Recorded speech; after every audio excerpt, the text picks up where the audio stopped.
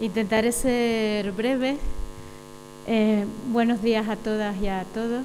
Mm, yo les vengo un poquito a concretar lo que ha dicho Segura, eh, cómo lo llevamos al aula, un poco esbozarles los programas y esta tarde hablaré un poco más en tutoría de cómo lo hacemos, de, la importancia que le damos al plan de acción tutorial y, que debe ser algo fundamental, lleno de contenido, de sesiones eh, tenemos que trabajar muy intensamente eh, tutores y equipos psicopedagógicos o de orientación, no sé cómo los llaman aquí, mm, y aprovechar de verdad ese espacio que es el espacio que genera que cambien las cosas en un centro. ¿no? Al hilo de lo que acaba de decir Segura con el tema de si funciona o no, eh, yo solamente quiero apuntarles dos cositas. Y es que estos programas han sido evaluados, hay tesis doctorales detrás muy rigurosas, en condiciones adversas en algunos casos, también con población normalizada, tanto en primaria como en secundaria. Y a, través de los resultados de esas investigaciones todavía nos asentamos más, nos afianzamos más en que el programa funciona. En primaria hay dos tesis doctorales, una se hizo en un barrio muy conflictivo de Valencia, la otra se hizo en la Universidad de La Laguna, con niños y niñas sordos profundos integrados en aulas normales en el que había un nivel de conflictividad muy importante. En secundaria yo la he realizado con adolescentes con una muestra muy grande de unos 650 alumnos y alumnas de cuatro municipios distintos de la provincia de Barcelona y allí había de todos, centros muy conflictivos, centros normales y corrientes, y además tuvimos la suerte de poder hacer mm, lo que llamamos un grupo control, es decir, institutos con las mismas características que no conocían el programa y que tuvieron la amabilidad de permitirme pasar las mismas pruebas. Por lo tanto, no solamente teníamos el, contraste de lo que ocurría cuando aplicábamos el programa, sino comparándolo con población muy similar a la que, a la que el programa nunca le llegó. ¿no? Y los resultados son muy buenos eh, pero como decía Segura, porque necesitan ser aplicados de forma estable y sistemática en el tiempo. Es como aprender a leer y a escribir. Si queremos cambiar y queremos que sean personas que tengan una buena comprensión lectora, que sean personas que expresen lo que sienten o lo que piensan, pues necesitamos toda la secundaria, desde primaria hasta secundaria, para enseñarles a leer y a escribir, ¿no? Pues para que haya un cambio, un crecimiento en lo que me conozco, es el ser persona, y en cómo me relaciono, pues que menos que dos cursos escolares, dos en primaria, dos en secundaria. Y además empezar desde infantil. ¿eh? Eh, el programa eh, contempla establecer ciertas bases desde la educación infantil, aunque después de manera más sistemática ya propone todas las sesiones entrados en primaria. Eh, eso era un poco por, retomarlo con él. Yo la verdad hice la tesis y siempre lo cuento porque yo aplicaba el programa con poblaciones muy diversas. todavía hoy lo aplico con alumnado de primaria y de secundaria, pero lo he aplicado con drogodependientes, con delincuentes, con personas analfabetas que recibían ayudas económicas a cambio de una formación. Y la sensación que yo he sentido es la que hemos sentido todos los que hemos aplicado el programa alguna vez, y es que notas que empieza a cambiar algo en el aula en el contexto, en las relaciones entre las personas que estamos allí dentro. Tú dices, aquí pasa algo, no puede ser magia, porque no se trata de magia, ¿no? Lo que cambia es el clima, lo que llamamos el clima del aula. El clima es más afectivo, hay más respeto, hay más tolerancia, me siento capaz de decir cosas que son mías como persona, más allá de que sea la profesora o de que sea el alumno o la alumna, ¿no? Yo les contaba anoche cenando eh, ahora estoy en un tercero de eso muy movidito, que yo los prefiero sinceramente a estos grupos a veces muy pasivos que, tú dices, ¿cómo, cómo haces ¿no? para, para sentir que están vivos? ¿no? Y además a las 8 de la mañana un viernes, que es una hora un poquito dura. ¿no? Y este año tengo el contrario, tengo un grupo, un tercero muy movido. Y hablábamos precisamente, eh, hay una unidad en el programa en secundaria eh, que tiene que ver con el pensamiento causal, y con la formulación de los objetivos, qué es lo que queremos en la vida, ¿no? Y es una lección, pues claro, que, es hablar del yo, de hablar de lo que yo quiero como adolescente, como joven. Y una, bueno, llevamos tiempo trabajando, estamos en febrero, no hemos empezado a trabajar ahora, estamos trabajando desde principios de curso. Entonces se empieza a notar en ese ambiente de respeto, de, bueno, me siento capaz de decir lo que pienso, lo que siento. Y un alumno de los buenos, de los académicamente muy potentes, eh, ¿no? Empezaron a decir los demás, ah, pues yo quiero, una me dijo, dice, yo lo que quiero es pasármelo bien, que era un poco lo que decía él esta mañana, el hedonismo, ¿no? El, divertirse. Otros pues que querían algún día irse de su casa, algún día, no sabemos cuándo. Yo les digo, prepárense, hasta los 31, 32 la gente no se va. Así que llévense bien con sus padres por si acaso. Eh, otros terminarla eso, algunos ya tenían claro lo que quieren hacer, qué bachillerato quieren hacer, y este me dijo, dice, bueno, yo sí sé lo que quiero hacer, pero no lo voy a decir porque eh, es un poco cursi. Y yo le dije, bueno, si no lo quieres decir, pues tranquilo, no pasa nada, ¿no? Pero si quieres, estamos dispuestos. Dice, bueno, sí, mm, es que yo quiero ser rapero. Y le dije, ah, si quieres ser rapero. Dice, sí, claro, y eso suena un poco cursi. Y le dije, ¿por qué es cursi? Un rapero es una persona que sabe de música, que tiene una cierta mirada social hacia los demás, hacia el entorno, que sabrá escribir mm, y hacer que rimen, porque los raperos hacen que rimen lo que dicen. Y música, tiene que tener cierto sentido mm, de la música, ¿no? Y del ritmo, de la creatividad. Digo, no me parecen cosas superficiales ni cursis, me parecen cosas muy bonitas y el mundo necesita, igual que necesitamos médicos o, abogados o científicos o, albañiles, necesitamos músicos. Y él me miraba como diciendo, ¿en serio esta tía no, se burla? Claro, y me imagino el discurso en la casa, ¿no? A mí se te ocurra con las buenas notas que tienes y tal. Pero es verdad que se lo decía en serio, ¿por qué no puede ser un gran músico? Y anda que no ganan dinero si llegan a ser famosos, ¿no? Bueno, pues eso es lo que produce el programa que ellos hablen del yo, yo me siento, yo pienso, y además que discutan entre ellos, claro, no, es, no son clases silenciosas, son clases bastante animosas. Eh, pero no nos tenemos que mandar a callar en el sentido de cállate, tú, no, no, no, sino déjalo que hable, déjalo que hable, es su opinión. Y eso yo creo que es una cosa súper eh, enriquecedora que produce el programa.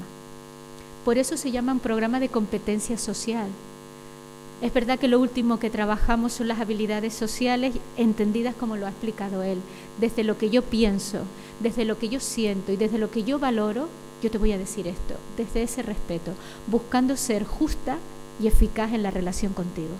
Entonces, a todo eso es el etiquetado que en psicología desde los años 80 ya llamábamos competencia social. Ahora ha entrado en educación con fuerza, pero era una cosa que ya eh, trabajábamos en psicología ¿no? y en psicología educativa concretamente. Ahora, ¿cuáles son los objetivos de la competencia social en el aula? Dichos rápidamente, aprender a relacionarse, haya o no conflicto, porque muchas veces se ha relacionado la resolución de conflictos, bueno, que, entramos con el, con el cuchillo en el, en el aula, así, entonces ah, soy experta en resolución de conflictos, ¿no? Eh, eh, intentamos aprender a relacionarnos, cuando hay conflicto y cuando no lo hay. Da igual, es, un elemento más de la convivencia. Ahora, cómo lo afrontamos es una de las cosas que sí que, va a tener en cuenta el programa. Otro objetivo de la competencia social es precisamente esto que les decía, mejorar el clima del aula. Y ustedes saben que hay dos tipos de clima. Un clima es el afectivo, este que les eh, cuento, ¿no? que, que normalmente se da cuando se aplica el programa y normalmente la aplicamos en tutoría cuando hablamos de lo que pensamos, de lo que sentimos, de lo que queremos. Pero eso sabemos que produce un clima posterior o secundario, que es el clima efectivo, y es que es el que produce la mejora, favorece las condiciones de todo el proceso de enseñanza-aprendizaje. Una profesora de inglés nos decía en Tenerife, en un instituto, hace muchos años, cuando empezamos a trabajar el programa, de las tres horas, de las tres sesiones que tenía con un grupo, dice yo dedicaba dos al programa de competencia social porque después en la hora que me quedaba de inglés aprovechaban lo que no habían aprovechado cuando no aplicaba el programa. Ese es el clima afectivo y efectivo, produce los dos. Y además pretende mejorar la capacidad para convivir dentro del aula, claro, eh, y, fuera del aula. No se puede quedar en el, en el momento de tutoría cuando doy clase con.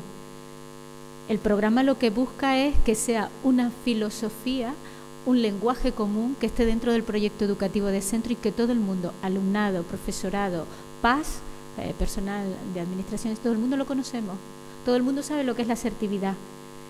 Que hay unas personas responsables de aplicarlo, por supuesto, pero es que detrás de mí viene la de inglés y dice, ah, hoy han estado trabajando valorar las consecuencias, muy bien, y coge y empieza a proponerles un ejercicio en lengua inglesa en el que el protagonista tiene que pensar las consecuencias si se va o no se va de vacaciones con unos amigos. Que después en el recreo ha pasado algo y en vez de, bueno, de, resolverlo como podemos, hacemos una reflexión utilizando algunos de los elementos del programa o cómo nos hemos sentido o cómo, eh, qué, qué, fue lo que pensamos o qué es lo que estamos valorando para que ocurriera lo que ocurrió y cómo resolvemos esto ahora, cómo sanamos nuevamente la relación con las personas que han tenido que ver con ese conflicto. Eso es lo que está buscando el programa. ¿Hay alguien responsable? Sí, pero se generaliza a todo el clima del centro. Por eso busca implicar a toda la comunidad educativa, incluida la familia. Tenemos experiencias muy bonitas y muy estables en infantil y primaria. En secundaria no nos ha ido tan bien. Como somos optimistas, seguimos convocando a las familias en secundaria e intentando hacer aproximaciones, encuentros de vez en cuando. Y bueno, van dando por lo menos el acercamiento entre los adultos, porque a veces, no sé si a ustedes les pasa, pero tenemos dificultad con la familia o la familia con nosotros, cómo nos vemos, cómo se lo digo, ¿no? Cómo le digo esto de su hijo o de su hija. Pues el programa como tal lo que busca es eso, implicar a toda la comunidad educativa. Una, mamá de primaria, en el, en el programa de primaria hay unas preguntas mágicas, que ahora les comentaré por encima, son mágicas porque nos ayudan a relacionarnos, nos ayudan a, llevarnos bien con todo el mundo, porque claro, en primaria pues la magia ustedes saben que funciona muy bien. Y eh, en, el colegio este en Tenerife, con el que llevamos muchos años trabajando y, y formando a la familia al mismo tiempo que trabajamos en el aula, me decía una madre, Juani, mis hijos están hasta aquí de las preguntas mágicas.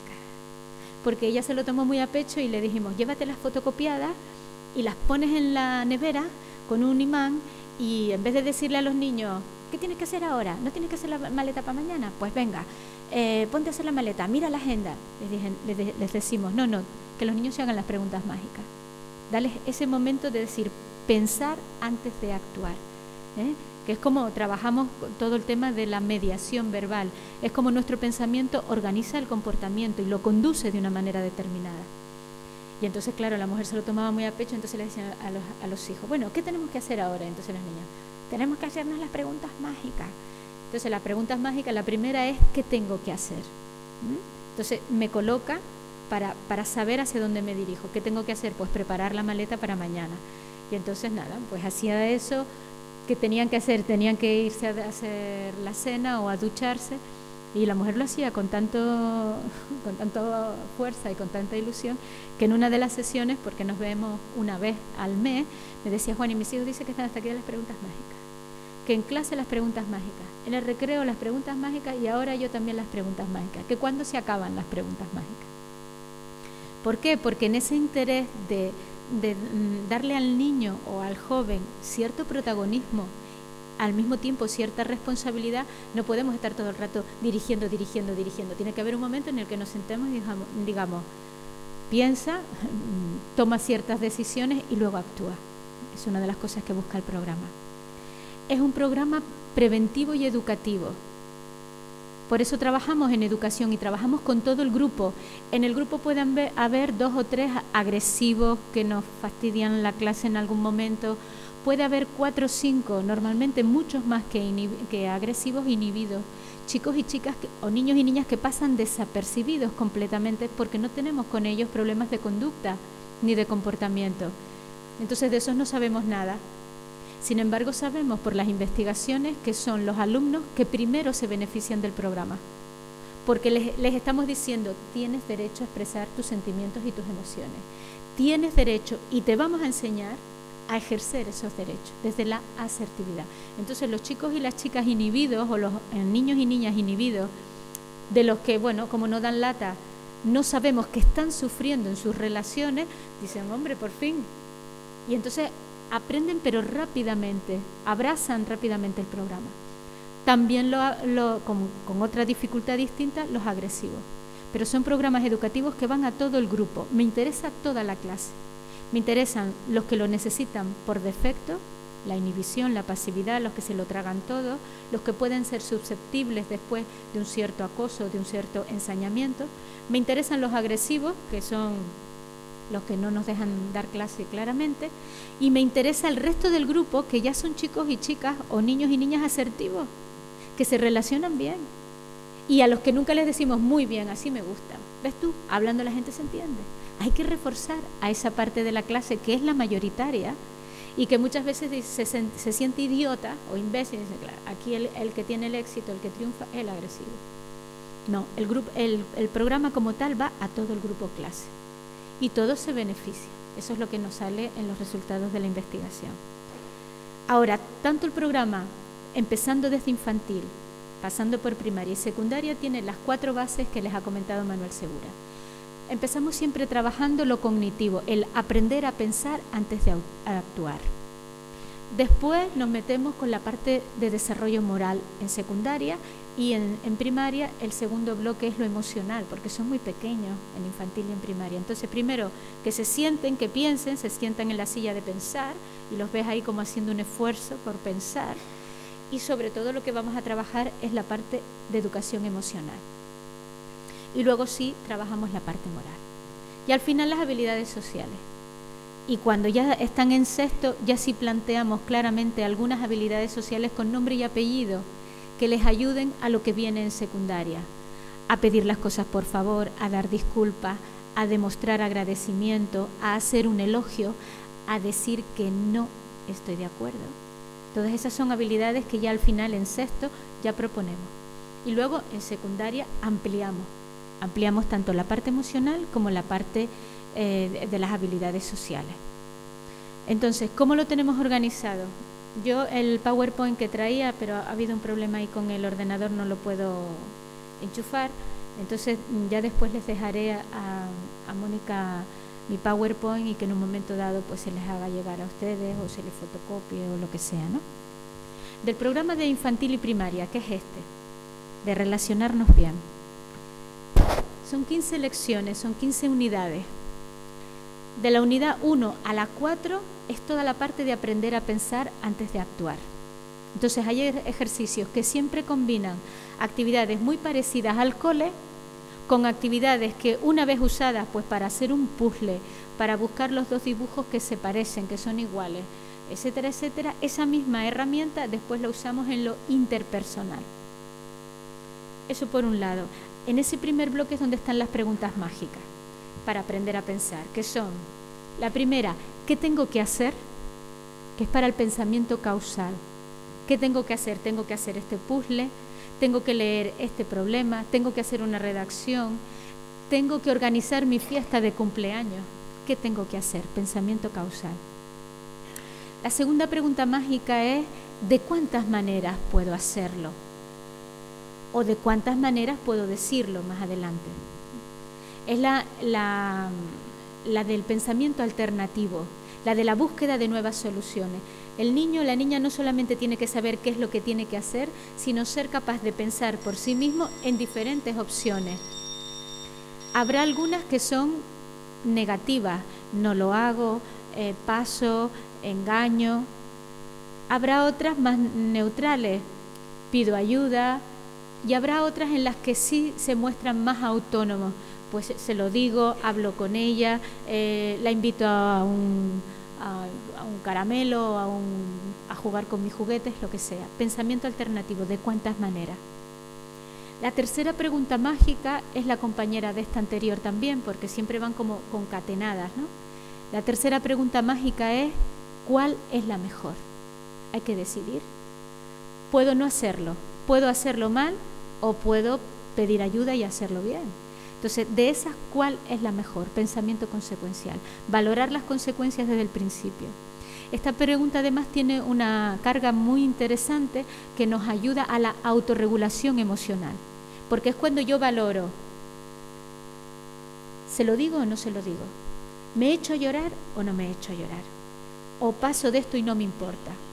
Si el niño o la niña es capaz de pensar, que de todas esas hay una que es mejor que otra porque me permite conseguir lo que yo quiero, entonces estamos trabajando todo esto de la mediación verbal que les digo, el pensar antes de actuar. no solamente fríamente, sino desde lo emocional. Y es cuando los ves que se aguantan las ganas y se ponen...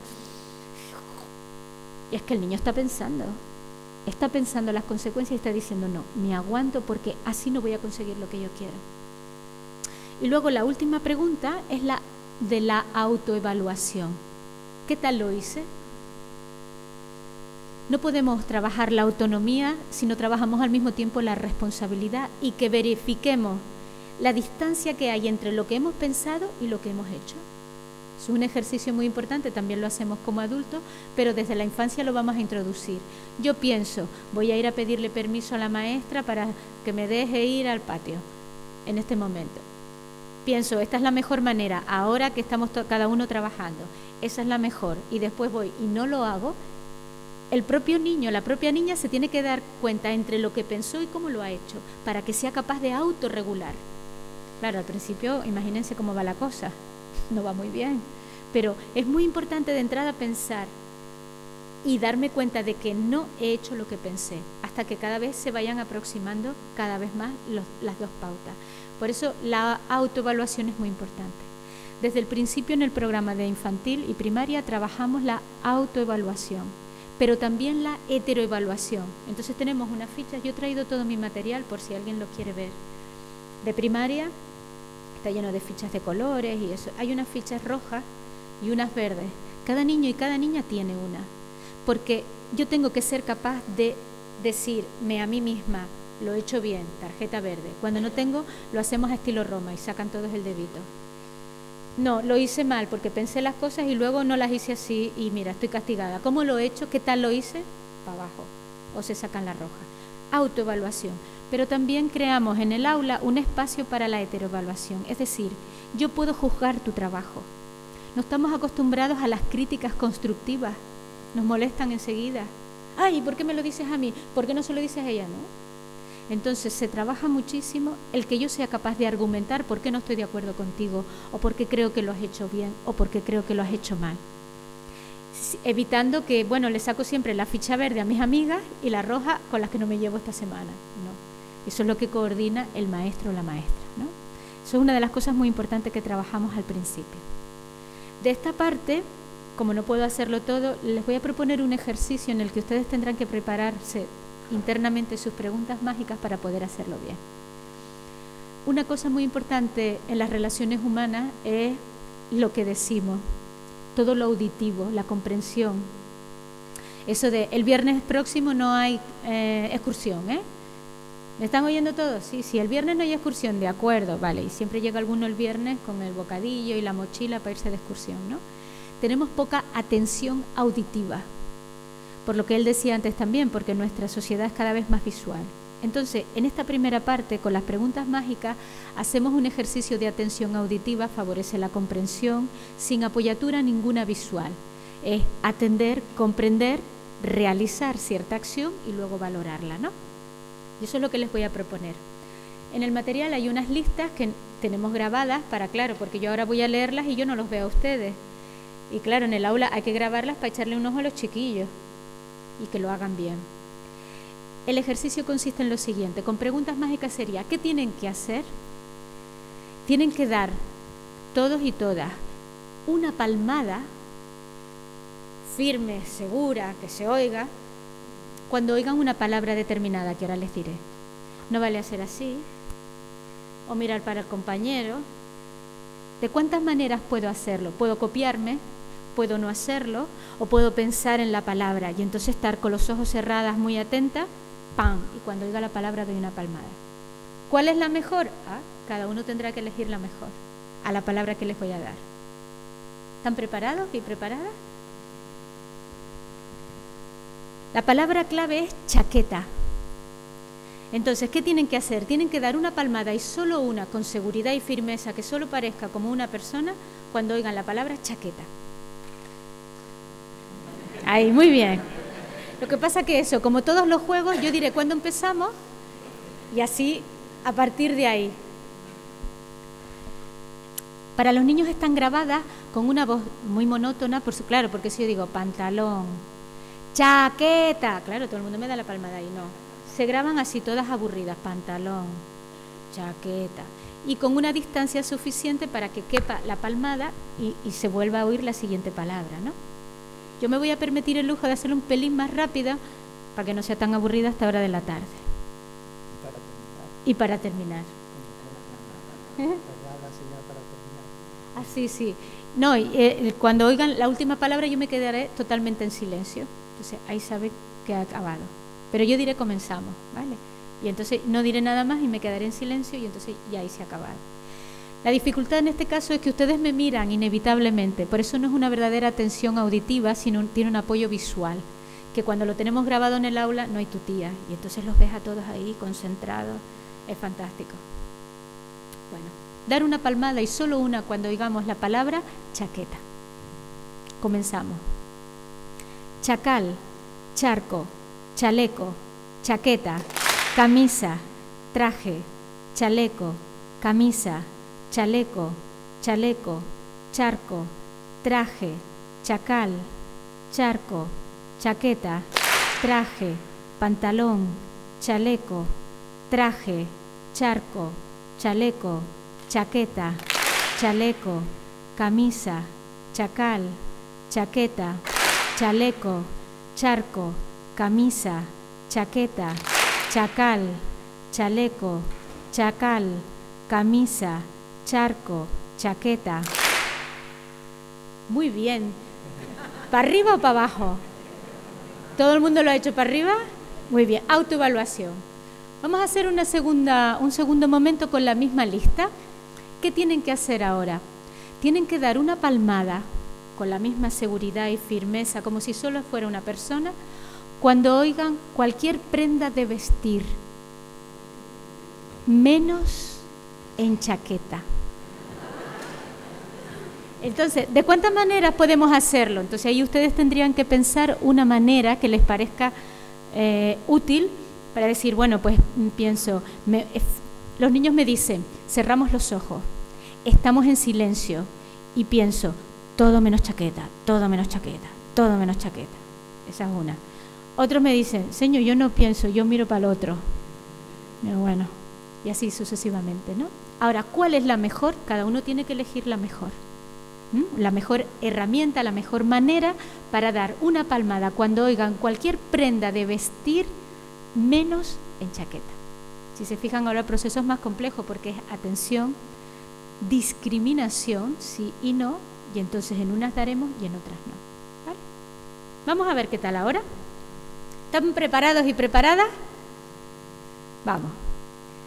Chacal, charco, chaleco, chaqueta, camisa, traje, chaleco, camisa, chaleco, chaleco, charco, traje, chacal, charco, chaqueta, traje, pantalón, chaleco, traje, charco, chaleco, chaqueta, chaleco, camisa, chacal, chaqueta, chaleco, charco, camisa, chacal, chaqueta, chaleco, chacal, camisa, charco, chaqueta.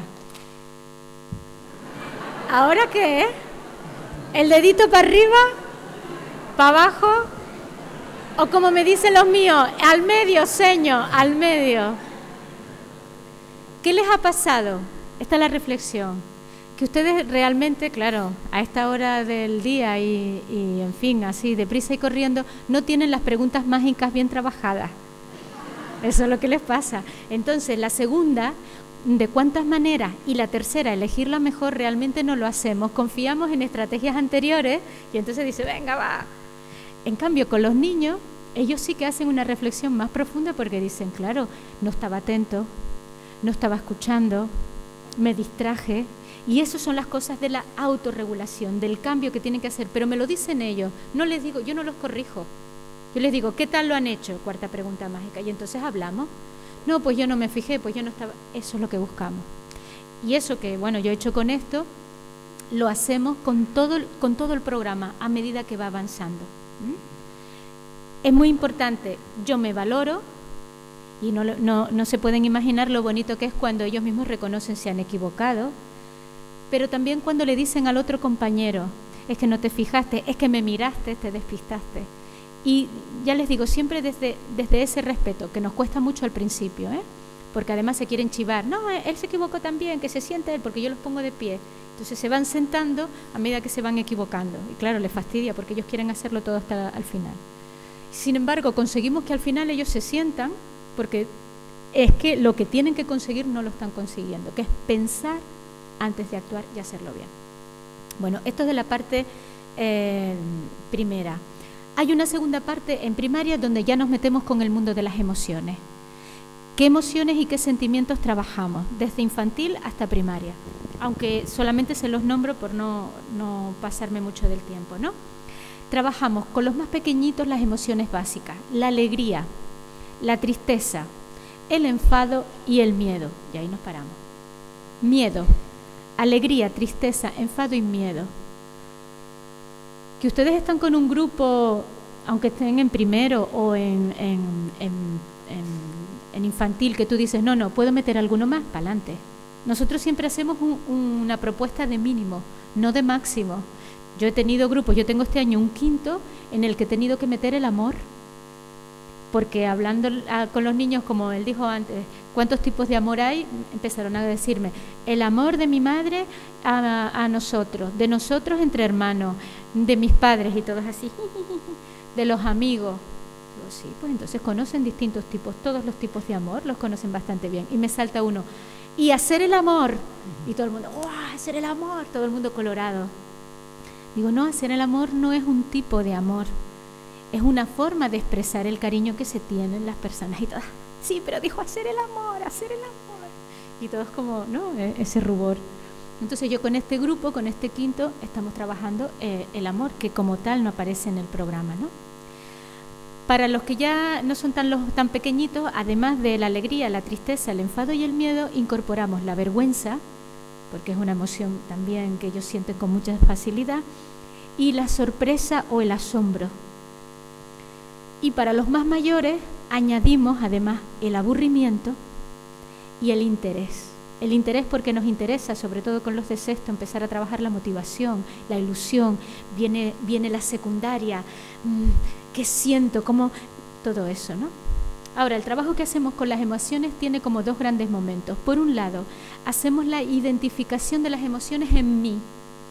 ¿Cómo expreso yo la alegría? ¿Qué cara pongo? ¿Cómo expreso el miedo? ¿Cómo expreso la tristeza, el enfado? ¿Tiene sonido la alegría? ¿Ustedes qué me dirían? ¿La alegría tiene sonido? ¿Cuál es el sonido de la alegría? Pero la risa es una palabra. ¿Cuál es el sonido concretamente? ¿Un poquito más entusiasmado? Esa, claro. ¿Y la tristeza? ¿La, ¿La, tristeza tiene sonido? ¿Cuál es el sonido de la tristeza? Muy bien, entonces los niños lo que hacen es tomar conciencia de cómo expresa cada uno de ellos con su carita y con sus palabras lo que sienten. Eso es lo primero. Tengo una niña, tenía una niña el año pasado en un tercero que me decía, yo no sé expresar, porque yo una de las cosas que, mm, hacemos, hacemos muchos ejercicios de poner caras y de expresar. Claro, es muy divertido ¿no? para, para ellos. Eh, y el año pasado me dio por grabarlo le, sacaba fotos por grupo. Entonces, venga, mm, estaban, están puestos en grupitos de cuatro, foto de la alegría, foto de la tristeza, y después las vemos y las analizamos. Bueno, pues haciendo las fotos esta niña me decía que ella no sabía expresar la alegría. Bueno, todo el mundo, ¿cómo lo va a hacer? Mira, mira cómo pongo yo la cara. Y todo el mundo poniéndole la cara y ella, no, no, yo no sé expresar la alegría. Bueno, pues cuando la grabamos, en, cuando hicimos la foto, efectivamente salió así, en la cara alegre. La triste la hacía, el enfado la hacía, pero la alegría así. Cuando pusimos la foto y empezamos a analizar, claro, yo les decía, para poner esa cara que, que, parece la cara nuestra, no, no de artistas exagerados, sino de verdad yo expreso así la alegría, pensaron en, en, algo, en alguien, entonces muchos me decían, sí, pues me acordé de algo gracioso que me pasó esta mañana, y entonces esta niña, que claro, tenía la cara así toda seria, Digo, ¿y tú qué pensaste? Dice, yo pensé lo que me dicen siempre en mi casa, que es algo mal en la foto, que mejor que no sonría. Por eso no sabía poner la cara de alegría. Claro.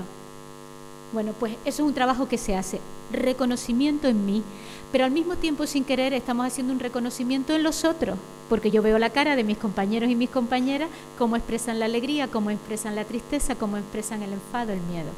Y cuando los, mm, fotografiamos, pues todavía más, ¿no? ¿Para qué? Para que se den cuenta que todos y todas sentimos las mismas emociones y los sentimientos, aunque no las expresemos exactamente igual.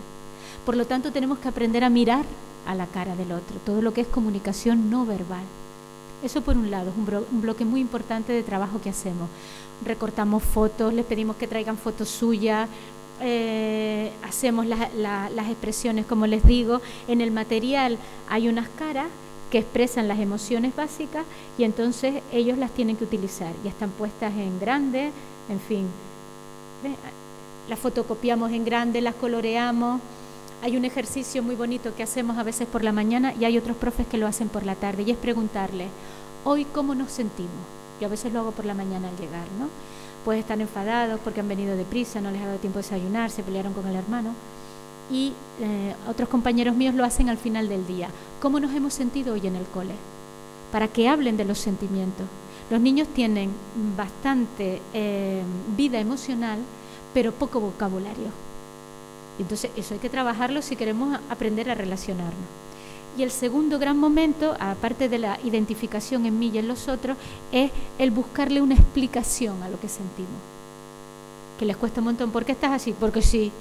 ¿Pero te pasó algo en el recreo? No. ¿Seguro? ¿No estás enfadado? Que no. No. Pues conseguimos, una de las cosas que busca el programa como objetivo es que yo no solamente te diga estoy enfadada, sino además te diga por qué estoy enfadada porque si no, no se da el siguiente paso, que es resolver el enfado, buscar soluciones a eso que sentimos. Así que de esta manera trabajamos lo cognitivo, digo lo que, lo que me pasa, cómo me siento, que es el pensamiento causal, le doy una explicación, busco soluciones, pensamiento alternativo, y me pongo en el lugar del otro. Porque lo que siento yo también tengo que darme cuenta de lo que siente el otro. Y además pienso en las consecuencias de cómo yo me estoy comportando, comportando y cómo te afecta a ti. Entonces se van juntando. Los cuatro bloques de trabajo van formando como una especie de muñecas rusas. ¿eh? Pensar antes de actuar, lo emocional, pero todas están relacionadas.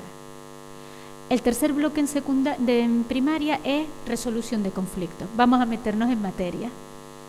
Entonces partimos de las soluciones de los niños en problemas entre iguales. Un niño no me deja eh, jugar en el recreo Invitan a todos los de la clase a un cumpleaños menos a mí. Situaciones entre iguales en las que se va aplicando todo lo trabajado, las preguntas mágicas, cómo nos sentimos, qué soluciones buscamos, etcétera, etcétera. Lo primero, cuando, claro, estamos entre la lección 8 y la 10, ya llevamos a lo mejor, nosotros proponemos que el programa se trabaje una hora a la semana o dos medias horas Claro, entonces empezamos en octubre, pues va cayendo por febrero que estemos en, esta, en este momento, o en marzo.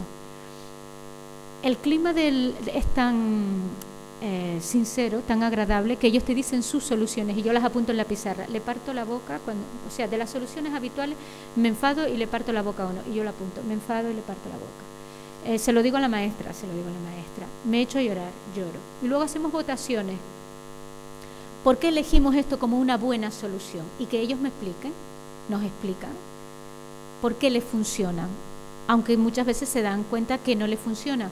Pero es lo que decía él antes, tiene más impacto la explicación del igual, nosotros utilizamos mucho el aprendizaje entre iguales, que lo que diga la seño, que al fin y al cabo es la seño. Y ellos nos dan muchas veces la respuesta políticamente correcta. No, no, hay que conseguir un clima en el que ellos me digan de verdad, pues sí, pues yo doy patadas y creo que es la mejor solución. ¿Vale? para poder deconstruir, desglosar eso en elementos que el niño, la niña vea y que además sienta que no son eficaces ni son justos, que la filosofía siempre del programa, ¿no? Entonces, partimos de sus soluciones. Cuando ya hemos hablado de ellas, entonces les proponemos que busquen nuevas soluciones, pero son ellos los protagonistas siempre. Pensar en equipo cuáles son las nuevas soluciones para los mismos problemas de siempre. No son nuevos, no son problemas diferentes y después de cada una de las soluciones vamos a pensar las consecuencias. Entonces, para las consecuencias tenemos un concurso que causa furor, que el concurso se llama ¿Qué pasaría si? Ya que terminar la frase, ¿no? Entonces son unas fichas también que están en el material que se imprimen y eh, nosotros recomendamos que unas se, se hagan en papel amarillo porque se supone que son las fáciles y las azules que se supone que son difíciles. Y entonces por equipo tienen que trabajar por consenso, solo puede hablar el portavoz, les damos un tiempo, entonces por ejemplo, una ficha cualquiera, ¿qué pasaría si le pego a alguien más fuerte que yo? Entonces les digo tiempo y lo ven. Porque tienen que elegir la consecuencia más correcta que está escrita en la parte de atrás de la ficha para que ganen la ficha, ¿no? Entonces, al mismo tiempo están trabajando en equipo, se escuchan, muestran desacuerdo, pero tienen que llegar a un consenso y al final el portavoz es el responsable de todo el trabajo en equipo y entonces es el que levanta la mano y entonces dice lo que sea. Que está bien, gana la ficha. Que está mal, hago rebote hacemos un rebote. Claro, para que toda la clase esté pensando, lo que estamos es potenciando el pensamiento consecuencial. Pensar de forma consecuencial, pero de forma divertida, de forma amena. Además, les damos a elegir entre amarillas y azules, y ya se pueden imaginar, los más competitivos siempre quieren las azules, las azules, porque ya saben que son las difíciles. Y los, los, los no tan competitivos dicen, no, no, las fáciles vamos a asegurar ganar puntos y tal. Es algo divertido. Cuando eso está más o menos consolidado, los niños llega un momento en que te, dicen sí, pero nos hemos dado cuenta que casi todas las soluciones que elijamos tienen alguna consecuencia positiva y alguna que no siempre es tan positiva. Entonces, ¿cuál es la verdadera solución mejor? La tercera pregunta, ¿cuál es la mejor? Es la más difícil de contestar. Y entonces cuando llegamos a la parte moral en infantil y en primaria, y es cuando les damos unos criterios eh, claros para elegir cuál es la mejor y son los siguientes. La mejor solución es primero la, solución que es segura, que no es peligrosa, en la que ni me hago daño yo ni hago daño al otro, para que descarten toda la violencia física de entrada, por ejemplo. Entonces una solución es la mejor cuando es segura y no es peligrosa. Bueno, eso es una unidad completa de trabajo, con fichas, también por consenso. Ellos tienen que contar anécdotas de su vida en las que hicieron algo que fue seguro o fue peligroso para que se den cuenta del concepto, no solamente que sea algo abstracto, sino algo vivenciado, ¿no? Y te cuentan pues eso, que se encerraron en el cuarto, que jugaron con fuego, etcétera. El segundo criterio, la eficacia. Una solución es la mejor cuando sirve, les decimos a los niños y a las niñas. Sirve quiere decir que no provocamos otro problema mayor al elegir esa solución, sino que con esa solución se acaba el problema. Sirve también quiere decir que la solución es posible llevarla a la práctica, no una cosa imaginaria que digo hoy ojalá venga mm, no sé quién, Pokémon o Doraemon y no. Tiene que ser posible, no imaginaria y una solución sirve si además la puedo realizar yo, por mí misma, con mis medios, como niña, como niño. Entonces, ¿qué pasa? Que la mejor solución no es siempre decírselo a la maestra o al maestro. Esa tiene que quedar en un segundo lugar, porque yo tengo que ser capaz de buscar una solución que sirva, que la pueda realizar yo misma y que con ella se acabe el problema. Entonces yo me siento más responsable y más protagonista de lo que estoy haciendo o de lo que estoy intentando resolver con el otro que no quita que eh, sea una gran solución decírselo a la maestra, siempre será una gran solución, pero no siempre será la mejor. Ese es el mensaje final en el programa. Tercer criterio, la justicia. Una solución es la mejor cuando es justa, pero sabiendo que en infantil están en el estadio 1 y entonces es mejor que se lo hayamos dicho claramente nosotros lo que está bien y lo que está mal, y en el resto de la primaria es un diente por diente, ojo por ojo. Entonces, tú me invitaste a tu cumpleaños, es justo, yo te invito al mío. Tú no me invitaste al tuyo, no te invito al mío, y es justo. Claro, nosotros nos, choca un pelín, pero para los niños eso está claro. Para los de sexto ya podemos ir metiéndole otros elementos, porque a ellos ya les importa el grupo. Quieren tener amigos, quieren salir ya en pandilla, algunos ya tienen esa experiencia, los padres les dejan de vez en cuando, aunque sea ir al cine, entonces ya podemos meter esa idea de, del deseo de ser aceptado, ¿no? Pero si no nos quedamos con el estadio 2. Hacerle al otro lo que el otro me hace a mí. Tú te portas bien, yo me porto bien. Tú no te portas bien, no me porto bien contigo. Y para los más mayores, esto no, lo trabajamos ni en infantil ni en, hasta el ciclo superior de, primaria, quinto y sexto. El, cuarto, el tercer, sí, el cuarto criterio es la empatía. La mejor solución es aquella que produce sentimientos agradables en mí y en el otro. Claro, y como la empatía, según Piaget, hasta los ocho años no empieza la capacidad de ponernos en el lugar del otro, a trabajar realmente, de hecho es una cualidad de la secundaria, de la adolescencia, pues este criterio solo lo recomendamos para los niños y las niñas de quinto y sexto. Entonces, una buena solución, la mejor solución es aquella en la que al final tú y yo nos sentimos bien, esa es la idea, nos, sentimos bien internamente como personas. Entonces, ¿cuál es la mejor? La segura, la eficaz, la que sirve, la justa y la que nos hace sentir al final a las dos partes bien, que aquello se ha arreglado de verdad. ¿Mm? Eso sería el, el final del programa en primaria. En secundaria son más mayores y entonces en secundaria lo que hacemos es dividimos en los tres grandes bloques, el aprender a pensar por un lado, desarrollo moral por otro y al final habilidades sociales y educación emocional. ¿En qué nos centramos más? En el aprender a pensar son seis unidades, cada una protagonista de cada una de las habilidades cognitivas. Una para el pensamiento causal, otra para el alternativo, otra para el consecuencial, otra para la perspectiva, otra para el medio fin y una sexta que ya enfoca hacia lo que viene, que es el tema de las prioridades y los valores. Mis prioridades, ¿cuál es, ¿qué es lo que más me importa? Y entonces eso da pie a los dilemas morales que son historias que vienen en el material este, todo lo secundario hasta aquí, en este.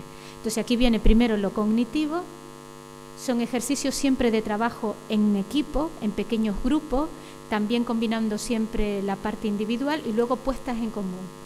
Por eso es tan importante todo el tema del respeto, del turno de la palabra, etcétera, etcétera.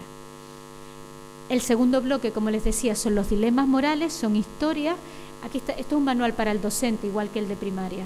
Entonces, están bien pautados para que yo en un momento dado les cuente una historia y digo, si tú estuvieras en el lugar del protagonista, harías A o B. No les doy más opciones para que se posicione. Si tu abuelo, que acaba de salir de un infarto y ha sido toda la vida un gran fumador y un gran bebedor de, de buenos puros habanos y de un chupito, y tú eres su nieto más querido, te dice, como ahora ya estoy bien, tráeme una copita de ron de ese que tiene escondido tu padre en el armario y un purito. Si ese fuera tu abuelo, ¿tú se lo darías a tu abuelo sí o no? Entonces lo que ocurre es lo que él contaba, unos te dicen que sí, otros te dicen que no, entonces organizamos grupos y se trata de que argumenten por qué defienden ese sí y ese no. Claro, no se van a poner de acuerdo. Lo que más nos cuesta en secundarias es que comprendan que no es un debate en el que intentan convencer los del sí a los del no o viceversa, sino que se trata de exponer por qué yo pienso sí y por qué el otro piensa no. Y tratar de enriquecernos de esa diferencia, sin llegar a ningún acuerdo. Pues hay gente que dice que sí porque es mi abuelo y lo quiero un montón y se porta bien conmigo, y entonces tú ves su razonamiento moral, que puede estar en el estadio 2 o te dice, pues no, porque es mi responsabilidad que siga cuidándose, que acaba de salir de la UBI y lo quiero un montón y quiero que esté un montón de, años conmigo. Entonces a mí me dijeron mis padres y el médico, oye, échale unos a tu abuelo y no le des nada. Y yo di mi palabra. Y como yo doy mi palabra, yo cumplo con mi palabra. Entonces esa es la riqueza que tiene el dilema moral, sin que intenten convencerse los unos a los otros. Lo que suele pasar es que se enriquecen de los argumentos de uno y de otro y aunque nunca estén en defendiendo siempre el sí o siempre el no, empiezan a crecer en los estadios morales en los que están. Si estaban en el estadio 2, porque imagínense que me dice uno, pues si yo se lo doy, porque si no me quita la paga. Y el abuelo siempre me da una paga, entonces me, me pide el ron y el tabaco, se lo doy porque tengo miedo a que me lo quite.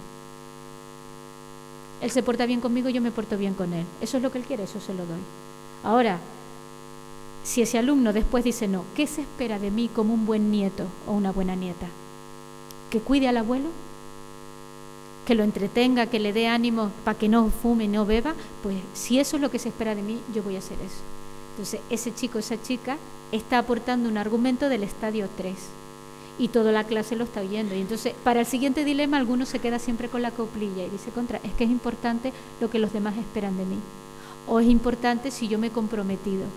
Y entonces van poquito a poco creciendo en los distintos dilemas morales. Y el último son las habilidades sociales. trabajamos en secundaria un total de 18 habilidades sociales.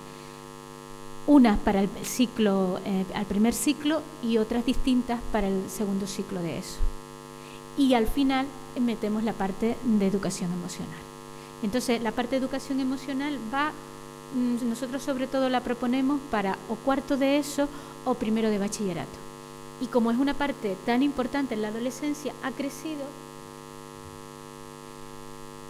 y ha terminado siendo otro programita, que es este, educar las emociones y los sentimientos. Pero nosotros solo lo recomendamos cuando el alumnado ya ha hecho este, para profundizar de verdad.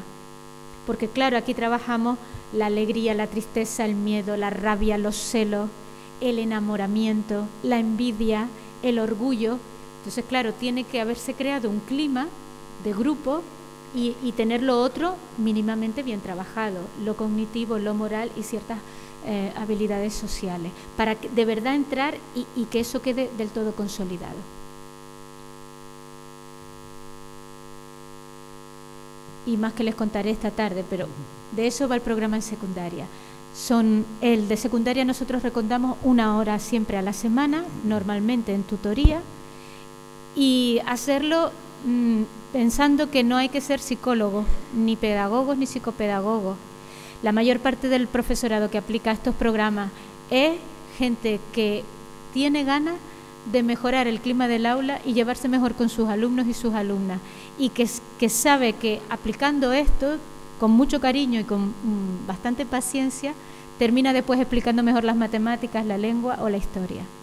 Pero sobre todo porque los está ayudando y cree que su labor es de desarrollar a la persona que hay en cada uno de ellos. Y nada, muchas gracias. vamos a comer.